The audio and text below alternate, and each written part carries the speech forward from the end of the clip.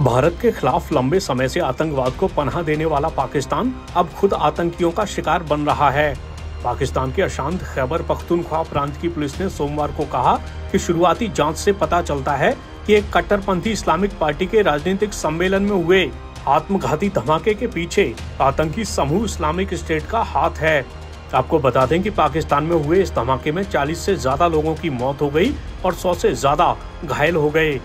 ये धमाका रविवार को हुआ था, जब कट्टरपंथी जमियत उलेमा इस्लाम फजल के सदस्य खार में एक सभा के लिए जुटे थे।